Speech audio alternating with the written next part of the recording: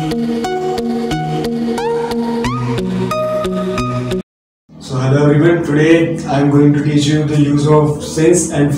हम और का सीखेंगे। की एक पार्ट है। तो स्टार्ट करते हैं।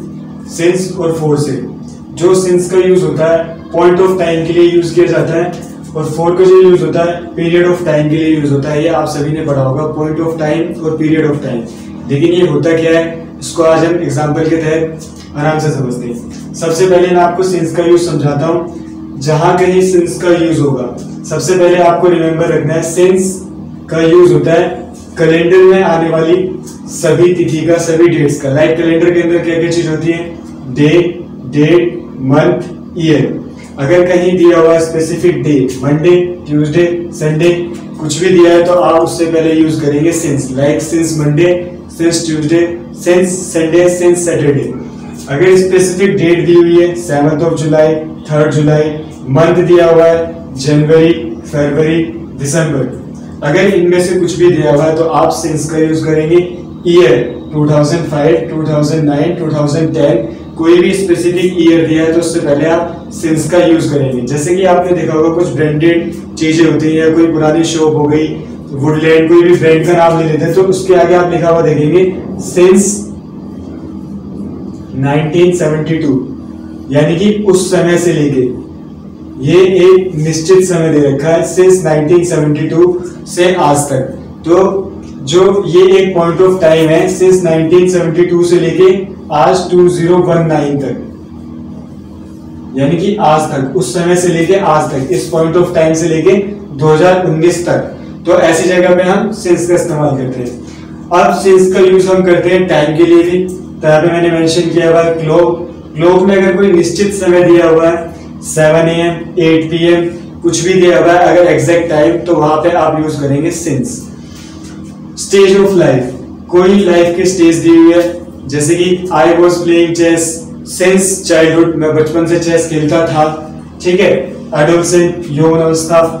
पार्ट ऑफ़ ईच डे एक दिन के पार्ट करते हैं अगर हम तो उसके जो हिस्से किए जाते हैं, वहाँ पे भी हम सिंस का यूज़ करते हैं। जैसे कि morning I am playing since morning मैं सुबह से खेल रहा हूँ। ठीक है?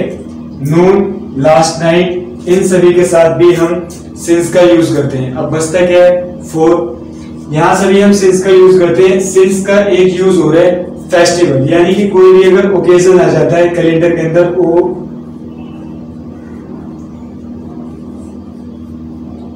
ओकेजन ओकेजन हो गया जैसे कि होली, दिवाली, ईद, दशहरा एक्स्ट्रा तो कोई भी अगर फेस्टिवल है तो आप फेस्टिवल से भी पहले सिंस का यूज़ करेंगे, जैसे कि since Holi since Diwali since Eid. ठीक है? अब इसको क्लियर करने के लिए हम लेते हैं दोनों का एक एक एग्जांपल एक सिंस का और एक फोर का, जिससे कि ये बहुत ही क्लियर हो जाएगा. देखते हैं इसके कुछ एग्जांपल्स एग्जांपल से सारी चीज़ें क्लियर हो जाएगी। फोर का मतलब period of time period of time का मतलब एक नॉन परमानेंट टाइम हमें पता नहीं है कि वो कौन सा टाइम है। मैं दो घंटे से खेल रहा हूँ, मैं दो घंटे से पढ़ा रहा हूँ। तो हमें पता नहीं है। अगर मैंने बोला कि मैं दो घंटे से खेल रहा हूँ तो वो कोई से भी दो घंटे हो सकते हैं। वो दो घंटे यहाँ भी हो सकते हैं। One two three four five six अगर मैंने बोला, मैं पिछले दो घंटे से पढ़ा रहा हूँ तो वो ये वाले टू आवर्स भी हो सकते हैं, ये वाले टू आवर्स भी हो सकते हैं, या ये वाले टू आवर्स भी हो सकते हैं। तो नॉन परमानेंट टाइम है टाइम का हमें पता नहीं है कि वो कौन सा समय है सिंपली तो मैंने यहाँ पे एक एग्जांपल लिया, मैं दो घंटे से पढ़ा रहा हूँ, ठीक है? इसकी इंग्लिश मैंने यहाँ पे लिखी हुई है I have been teaching dash two hours और सिंस की अगर बात करते हैं तो पॉइंट ऑफ़ टाइम एक निश्चित समय दिया होता है हमेशा, उसको हम बोलते हैं सिंस जैसे कि आपने कुछ ब्रांडेड जो चीज़ें होती हैं, उनके आगे हमेशा लिखा हुआ देखा होगा।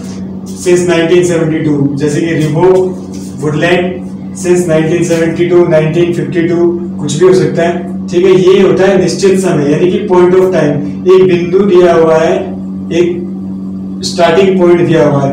यानी कि वुडलैंड जो है वुडलैंड 1972 से लेके आज तक।